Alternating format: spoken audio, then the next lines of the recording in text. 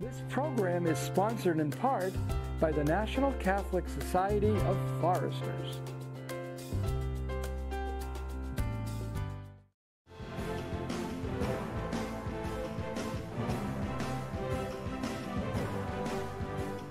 Hello again, and welcome to Looking at Social Justice. I'm Jim Grant, and it's been my privilege for one year already to host this almost weekly program. We're on our 53rd within that one year. Our seventh guest a year ago was the Reverend Zach Darrah, who is the executive director of Fresno Interdenominational Refugee Ministries. He's been in that position for five years already, hardly can believe it, which is one fifth of the history of that fantastic organization celebrating its 25th anniversary as we speak. This ministry has grown and it serves now many, many different, diverse, and varied refugee uh, communities. It began, of course, with the Southeast Asians, Hmong, Lao, and Cambodian refugees. But over time, it includes many Slavic and African, Syrian, and other refugee groups. I'm so glad that today Zach can be back to tell us what's happened in this last year since our program, and especially the urgency of dealing with the refugee crisis nationally. Because the United States, as everyone knows, has a very, very strong, very, very, I would say, hostile approach to what is the migrant and the refugee situation in the world. I'll let Zach tell us a lot more about that. Zach, could you begin by telling us a little bit about what is really going on at FIRM as we speak? Because in the last year, a lot of programming, a lot of events, a lot of highlights. So, review for us what's going on at FIRM as we speak. Absolutely. Well, things stay very busy at FIRM as always. Uh, we continue to see more and more people than ever before. So, Right now, we're averaging about 150 unique walk ins weekly that come through our door. That doesn't include any of the program participants or any of our regular clients. These are new people walking in the doors from all over the world, many different languages, coming in saying, I need help with whatever oh it might be. Yes. Yes, and so we've seen a lot more as, as you know, last time I was here, I predominantly talked about the Syrian refugees. Yeah. In doing that, you know, now we have a team of Arabic speakers, and that has opened the doors to many different groups of folks who we now serve, whether they're from Yemen, Afghanistan, Iraq, Saudi Arabia. You know, being a place that provides direct services and support services to Arabic speaking people groups has really just expanded who, who we're serving, who's coming and seeking services at FIRM, and has increased our capacity to serve, uh, I think, what's been an underserved, kind of under the radar population that's in our community here in Fresno. I think Fresno is not quite aware enough of the diversity of our community. We know we speak 100 languages, we know that the school system is filled with a diverse group of students but that means there's diverse families and they come from all over. Now, one thing you said you wanted to make us mindful of, and I'll just throw these words out and let you work with them. You've got mission teams, the summer carnival, the beautiful mural, the cultural food festival, and more. Yes. So, about those items, so we make sure we don't forget them. Sure. What do you want to say about any of that? So, we're fresh off of the summer. Summer is a very busy time. It's a fun, exciting, wonderful time at FIRM, but it's very busy. Uh, one of the exciting parts of every summer is our summer carnival event. Uh, this year we saw about 1,200 people that came onto campus.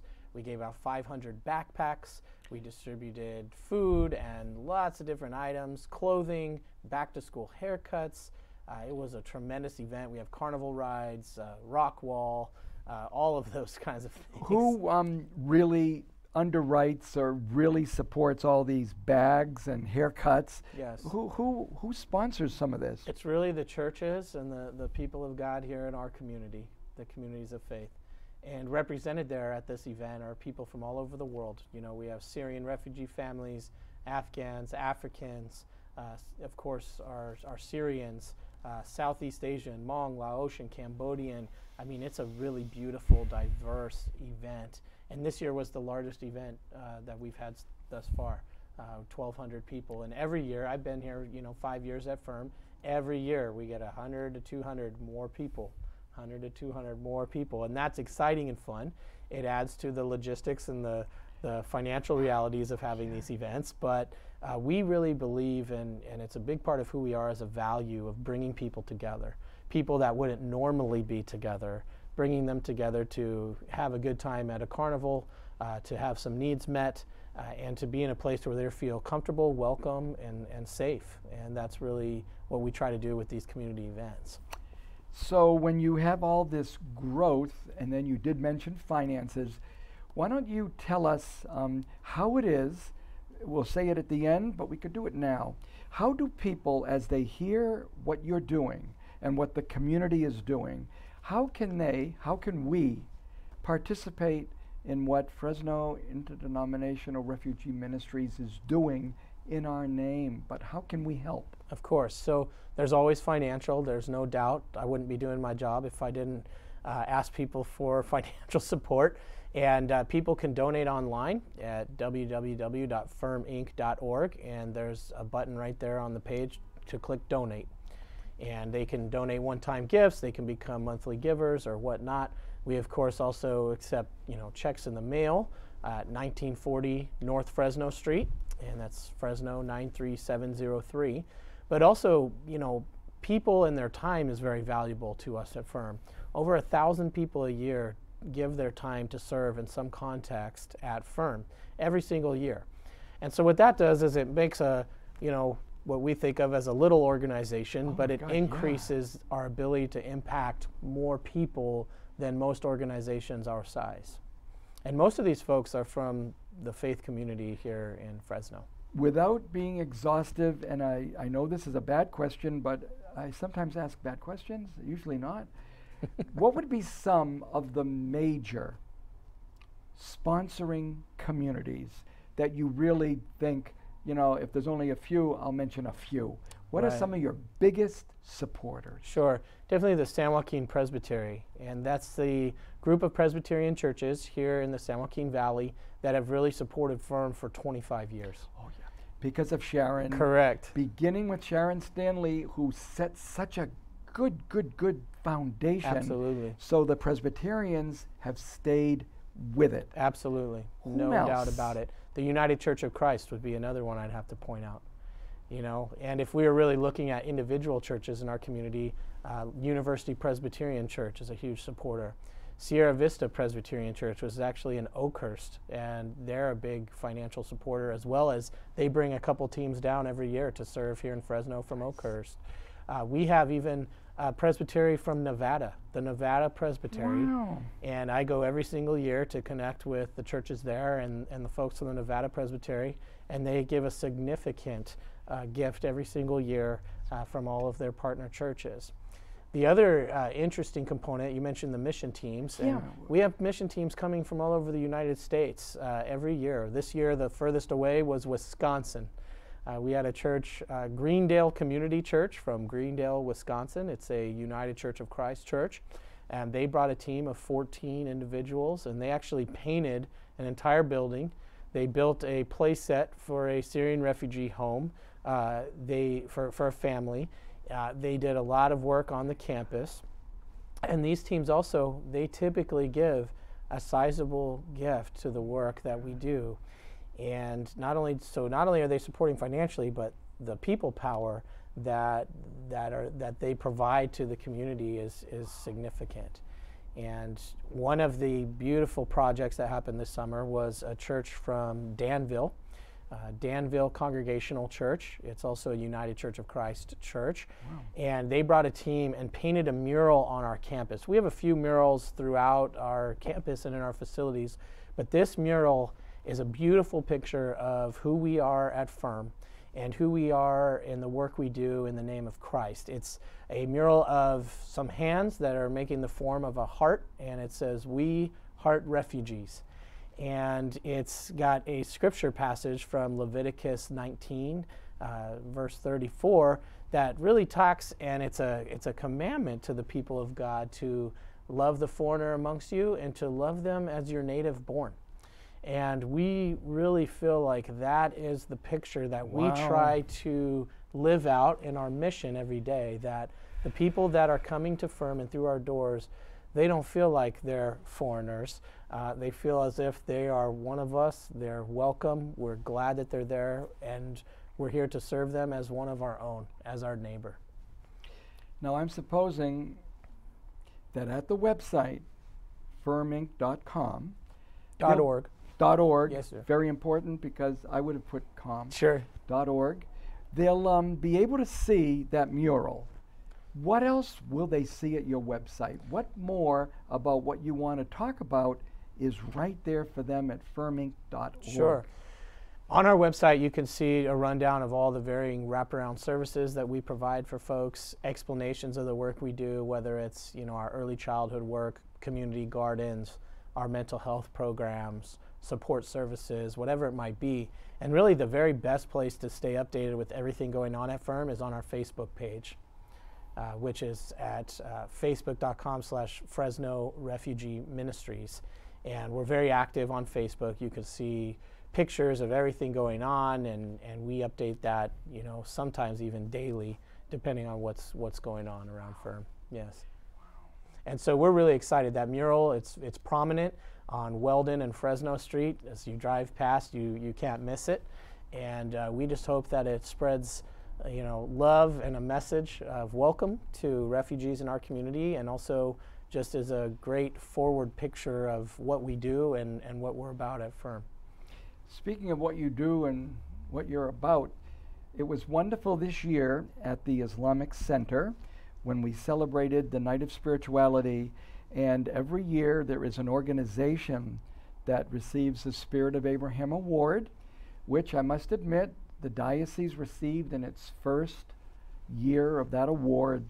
But it was great to be there this year and celebrate with you and Firm that distinction for what you do for interfaith work. Yes. So, yes. um, could you reprise for us, Zach, part of what you shared that night in reminding us of just how much Firm has stretched to be able to be so inclusive of a group, namely the Muslim community, yes. um, to, to not lose anything of its Christian base, but to actually only expand it by being able to minister in a profound way Sure. with uh, the community of, um, of Islam. Sure. Tell us about that. Well, yeah. Well, it was a you know a true honor. It's it's always humbling to receive awards and recognition and things like that. Nobody, uh, in my opinion, that's you know really serving others uh, out of love and and and compassion. uh, You know, do it for awards or recognition. Uh, very similar to the ministry of Jesus Christ. Uh, but uh, in serving the Muslim community, you know, for Firm, that was a new thing. Uh, we brought on Muslim staff. That was a new new thing, and began serving in a Muslim community that really we did not know a lot about, did not have a lot of relationships, uh, did not really understand a lot of the cultural norms. So it was a great time of learning, but also for us, and this is what I talked about at the Night of Spirituality, it was a response to. Uh, I shared scriptures from John 14 and, and 13 uh, where Jesus says, Look, there's a new command love one another. That's, that's, the, that's the new commandment I give to you. And so, if that's the thing that Jesus is commanding us to do, we're going to do that in an unconditional way, regardless of if someone's Muslim, Buddhist, uh, or any other faith group or whatnot. And so, in the Muslim community, a story that was shared that uh, I think shows who we are and why we're doing what we do. But one of the challenges in the beginning was that you know our Muslim staff had our business cards with our logo on it, and Firm's logo has a prominent cross. And it's because the reason why we do the work we do is because of Jesus Christ and his calling to us uh, to love the foreigner amongst us. But it was becoming a barrier uh, to providing services in the Muslim community. And so, as we had those frank discussions as a staff, uh, I made the decision that, okay, if that's a barrier to serving someone, let's just take it off the card and let's remove it. And so our Muslim staff in the first year, they just had the name firm uh, on their business cards. For some, that, that's a challenging thought and idea. Uh, but for me, I think if there's any barrier or boundary to serving someone that's in need, I want to remove those barriers and boundaries no matter what they are. And I, the interesting thing is that years later now, we have since added the logo back onto the cards and no one cares. and so I think the it was a great picture of just trust that these are people in an organization that can be trusted. We're not there to convert Muslims to Christianity. Uh, we're there to reflect what we believe is the calling of our faith uh, uh, you know, whether that's in interfaith work or, or, otherwise. And, and that's what we did. And I, am willing to remove those things, uh, no matter what they are, if it is to serve somebody and to love them. And I know that the love of Jesus is what shone through to folks that were receiving oh. services. So those kind of things are reflective of who we are, you know, and, and the Apostle Paul once wrote that, you know, I've become all things to all people that I might save some, right? And I think in those scriptures for us at Firm, it's like, well, whatever we've got to do to share the love of Christ, that, that is what we're going to do. And I know in evangelical circles, some people would staunchly disagree oh, with yeah. that. Uh, are you ashamed of the cross? Are you ashamed of the gospel? And I would say, no, not at all. Uh, we're in the business of living out the gospel in action. And whatever gets in the way of that, we are going to ensure that those boundaries and barriers are removed so that we can do that. You know, it was so wonderful to know that you have grown so much in these five years that you've been there. Help me figure, even from last year, you've grown in your programming and in your ability to serve more. Has the staff been able to also grow, or is it that the staff is doing more with with no increase of staffing, or how is your staffing growth? Yeah, so we have we have added a number of staff members. So you know that's always a dollars challenge, right? Um, but yeah, we've probably added I'm going to guess five or six staff from last time we wow. talked, and you know, it, it's required to meet the client volume. And we're about to add two more staff starting wow. October 1st, and that would be in the Refugee Youth Mentoring Program that we just received funding from the uh, state through the uh, office, or I'm sorry, the Refugee Bureau uh, office here in the state of California. So we'll have two additional staff serving 40 youth age 15 to 24 and most of those youth will be from the Syrian community, no doubt, wow. and at least from the Arabic-speaking uh, community here in Fresno. Wow. And so, you know, it's it's awesome to see God provide the resources that uh, we need to do the work that we do. And what I always say and typically say is that if we stay true to the work God has given us to do, God will certainly provide the resources to do that work. And that's the level of faith that we try to operate within. Uh, that we operate, you know, within the the reality for us that this is work that is pleasing to God, and God will bless and sustain uh, the work that we do as as long as we stay faithful to Him and the mission that He's given to us. Is there anything else you want to talk about regarding firm locally before we do do that topic? Of looking at the crisis in the world, the, the refugee, the migrant reality, and what some countries are doing, but it's almost what they're not doing. So, uh, anything else about your local work before we start giving you that chance to talk about this phenomenon of world migration and what what we're doing in response? We're just excited about celebrating our 25th year anniversary this year. That's a big milestone for any organization. Oh, yeah. And so we will be having our 25th anniversary celebration on November 1st. Nice. At 6 o'clock p.m. at the what's now called the Reverend Dr. Sharon Stanley Ray Center, which we named uh, after our founding director last year uh, at our annual event. So uh, there's actually no tickets. The, we not we're not selling tickets. People can just come Wow. to celebrate with us. Of course, we're also beyond celebrating, also trying to raise money. There's no Oh, yeah. doubt about it. But we'll have cultural foods and and uh, music, and Sharon will be coming herself Oh, nice. which is exciting. And we will have, you know, a dedicated time of just celebrating the last 25 years of firm Right. work. So that's very exciting, and we're looking forward to that.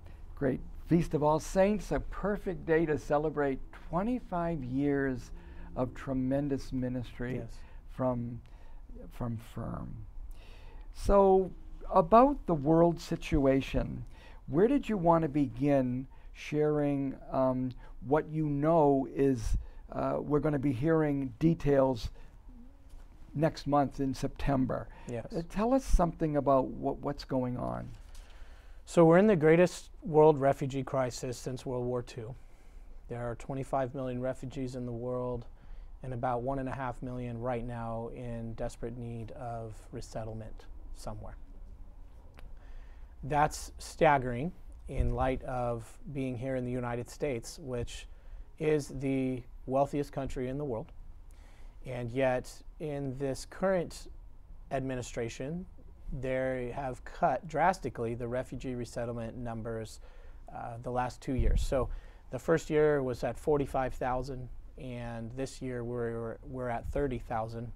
And both years did not meet the cap. So I'm assuming this year we will not hit 30,000. I'm going to guess it'll be in the 25 range. And it's been particularly challenging because this number is, can be changed every year. Uh, our historical average at this point is 95,000, but this country has resettled as many as 208,000 refugees in one year. I believe that occurred in 1980, uh, that with everything that was going on in Guatemala and El Salvador in those in those times. And so, seeing just this type of rhetoric, uh, legislation, narrative, etc., that is really pushing out and keeping out refugees is really challenging.